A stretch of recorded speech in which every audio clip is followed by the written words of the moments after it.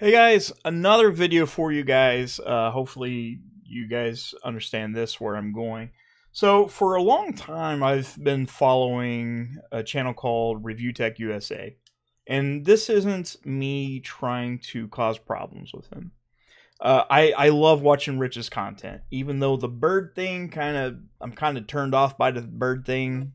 But if you guys have been keeping track of the Quantum TV saga with the Act Man, uh, Rich has been very vocal about it, and you know a lot of it's right, but he did kind of go on the deep end and basically kind of said he was going to quit YouTube, sort of, but not. And he actually made a video today stating he made a mistake, which a lot of people probably told him. Like he was blowing it out of proportion. Everything that happened to Actman sucks really bad. I'll be the first one to tell you. Like I, I, I hate that happened, and I kind of feel like the blame and the punishment should have been put on Quantum TV, uh, not on channels that are talking about you know that specific thing. And I kind of feel like a lot of bigger channels that were covering this, YouTube kind of was like, hey, don't do that. And I kind of feel like that's what happened to Rich. Now, like I said, I've been following Rich forever. He seems pretty cool. Um, never had a conversation with him, and he's never heard of me, and that's fine because nobody's really heard of me. But, dude, dude, you're you're doing great. You're doing great. I I think you you know I'm glad that you decided to come back. I decide I'm you know I'm glad you you didn't decide to just leave behind what you created, which you've got a great channel, man. Like over a million followers. I, I would love to have that.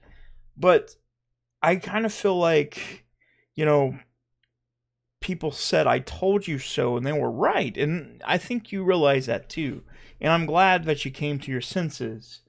Maybe not do the bird stuff anymore, but, you know, that's just me. I don't care about the bird stuff. I think that's the only thing I don't like is whenever I hop on the channel and it's the bird thing. But the, you know, a lot of people says the same thing about me whenever we talk about Sweetie. But yeah, Rich, dude, I, I, I hope the best for you, man. I, I hope you continue growing and all that stuff. I, I hope that you realize that you got a community that loves you, loves your content, uh, will take up for you and you know kind of stick stick with you. And I think you kind of realize that. And I you know I'm I'm happy you decided to make that decision. But but one thing, one thing, one thing I do have to say and this isn't me trying to start problems. So, one of the reasons you said that YouTube was doing this is because they had somebody on the other side of the fence that was probably pro whatever quantum believes in. And you kind of tied everybody that's in the right together as one. Now, a lot of people do this. I consider myself a libertarian. You know, I have um, beliefs set on both sides of the equation. Uh, I used to be heavily liberal, big time, big time. And, you know, as I got older and the more open I've become, I can see both sides of the aisle. But I don't understand, and this is bad. This is how stereotypes mm. are built.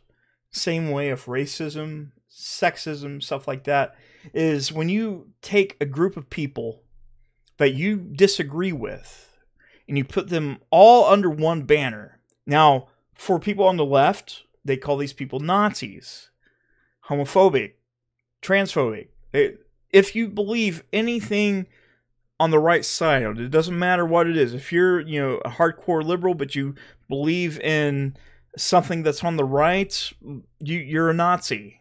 And I kind of feel like you kind of do that, Rich, from time to time. And I hate to be the one to point that out because it does bug me. It does bug me a lot. I, I'm on the center of the thing. And I think a lot of people should be.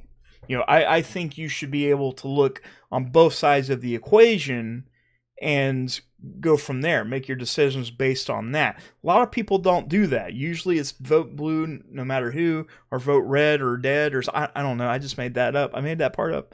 I don't know what the, the right thing is. I don't care. But not all people that are on the right has a vendetta against the gay, transsexual fe- females. No, nobody on. Yeah, I mean, I'm sure it exists, but it also exists on the left as well.